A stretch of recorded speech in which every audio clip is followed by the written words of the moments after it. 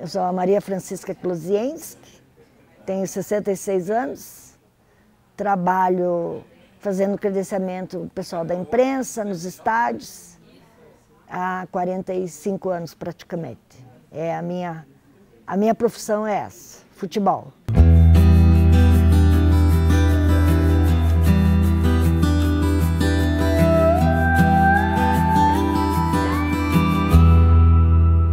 Pessoas chegavam para mim e diziam, Chica, você está doente? O que, que você tem? Eu falei, não, não tenho nada. Não, que você está emagrecendo. Tal. Eu falei, não, mas está fazendo regime?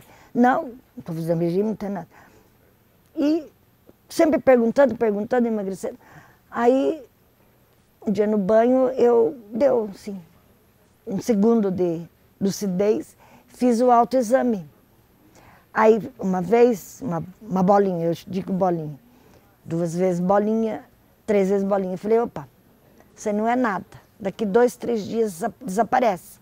Mas daí você fica com aquilo na cabeça. Toda hora estava, todo banho você ia lá e estava. Aí passou dois dias, três dias, dois meses. Por mais instruída que você seja, você fica na dúvida. Daí eu falei, opa, então está na hora de eu procurar um médico, procurar um para ver o que realmente é isso. Aí eu fui, no, marquei uma consulta, fui e contei.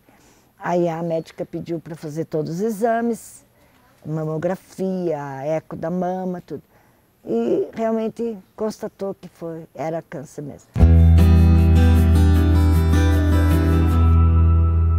Se eu ficar na minha casa, eu vou ficar fechada entre quatro paredes e não vou ter uma reação, eu, mesmo com o tratamento e tal. Aí eu resolvi, tanto é que com 10 dias de cirurgia na mama, eu fui trabalhar no jogo do Atlético. Quase me mataram quando eu cheguei lá. O que você está fazendo aqui, guria? Eu falei, eu vim trabalhar, porque eu não tenho como ficar em casa. Minha vida é isso aqui.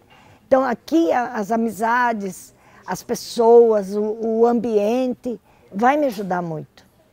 Então, eu não posso, eu vou continuar, vou trabalhar. Teve dias que eu saí de quimioterapia do hospital e fui direto trabalhar, tipo na Vila Capanema. Então, eu não parei. Eu não parei, eu continuei porque eu tinha certeza que o ambiente ia me ajudar muito nessa, nessa batalha que eu estou convivendo. E realmente me ajudou muito.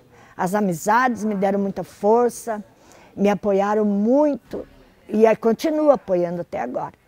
Então, para mim, foi muito bom eu continuar trabalhando. Eu acho que se eu tivesse parado, talvez eu não tivesse tão bem quanto estou agora, porque eu me sinto bem.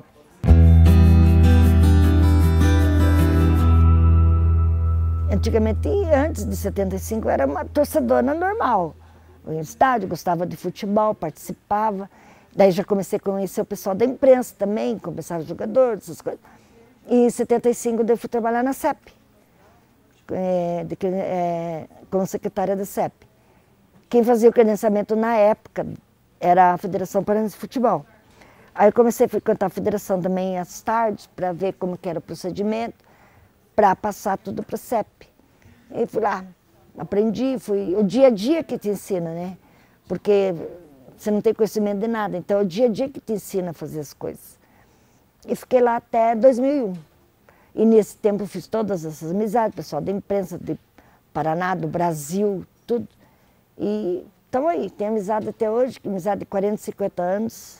O pessoal chega, oi, Chica, tudo bem? Quanto tempo? Tá, tá aí a, a minha meu, meu, como é que eu vou dizer para você?